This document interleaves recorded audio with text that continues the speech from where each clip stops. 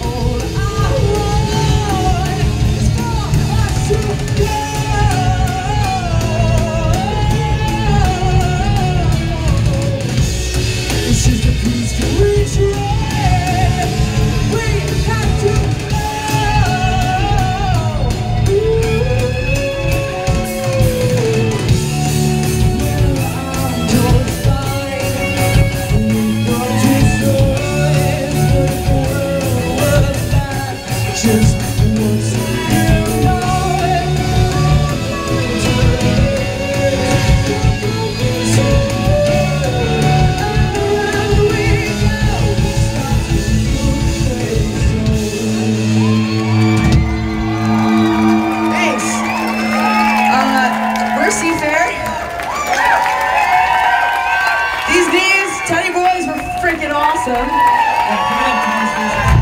Seriously amazing. So glad they could play with